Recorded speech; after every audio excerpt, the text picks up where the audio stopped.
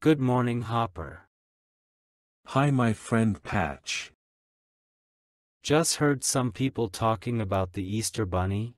They don't understand how a Easter Bunny can have eggs. The same way people get them. From chickens.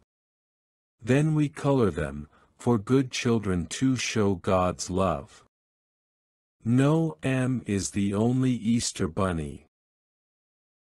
Yes, it all started with him, the only Easter bunny. All the others are helpers.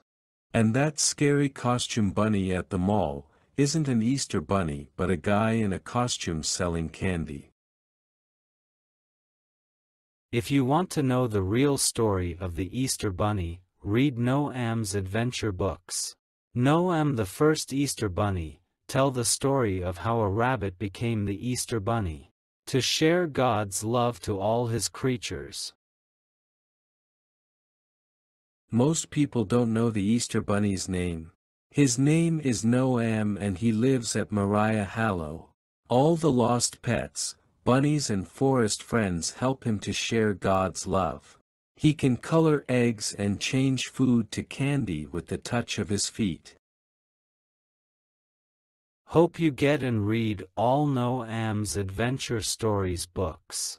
Then you will know the true Easter Bunny, told bunny to bunny for generations.